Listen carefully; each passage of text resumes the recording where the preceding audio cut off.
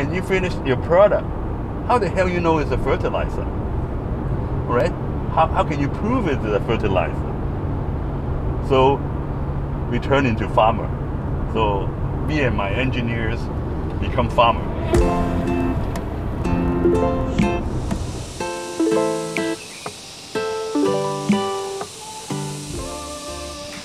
Hey folks, welcome to another episode of The Clumsy Gardener. This is part two of my Qingyuan visit to Magic Season Organics. To my left right here is the plant, is the factory, if you will, where they ferment and process and create their fertilizer that they use at their farm. Mm. That's the good stuff that makes everything grow really well out here. Smells really strong though. On the previous episode, founder Raymond Kwong and I took a road trip up here to Qingyuan. This farm produces organic vegetables that are sold in Hong Kong, and we managed to get a good look at the whole process. But all of this began as a company that made fertilizers. And now, it's time to see how all the chicken poop is turned into organic gold in this unsuspecting facility just 10 minutes away. And they've given us full access. Let's go! Whoa. So right behind me on these two pallets here is their liquid fertilizer.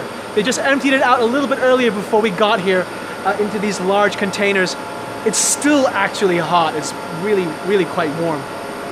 Quick breakdown of the process used here. The acronym ATAD stands for Autothermal Thermophilic Aerobic Digestion. Autothermal means it heats up on its own without something like fire. Thermophilic refers to the bacteria's ability to tolerate high temperatures. Aerobic means the process needs oxygen. And digestion is, well, uh, what this is all about.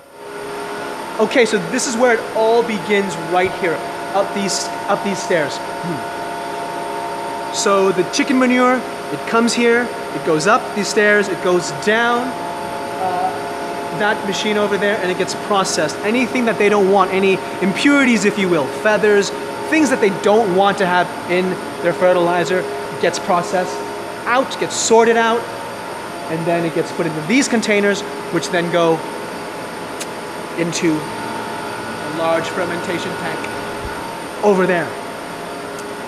In there, the bacteria is added, it heats up. Uh, whoa, careful, Josh, don't step in that. Uh, um, hmm. and the bacteria starts to consume, it eats the manure, and what that means is that uh, they multiply. Some strains of bacteria tolerate up to 100 degrees Celsius. The one they use peaks and sustains at 90 degrees. High temperature is crucial because chicken manure may have pathogens like salmonella, which this heat can kill. The whole process takes just a day. One kilogram of chicken manure can generate a little less than one kilogram of undiluted fertilizer. So one set's ready. Ooh. Fertilizer is split into two different types. You've got liquid and then you've got the solid. The liquid is what they use primarily at the farm. One reason why they prefer to use it at the farm is because it's absorbed quicker by the plants. But the solid fertilizer stores for longer. It has its own benefits as well.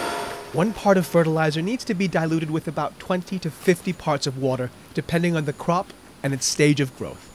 But there's one question that still needs to be asked. What makes the fertilizer so nutritious? We select the uh, bacteria that have a high protein content. When they die, your substrate will have lots of protein, you know, which is nitrogen, which is good for plant. Because when, when they're growing, they create lots of amino acids, which is good for the plants, and also the growth hormone. I've had a lovely time up in these mountains and enjoyed a healthy portion of organic veg with a side of warm local hospitality. But alas, my garden calls me home.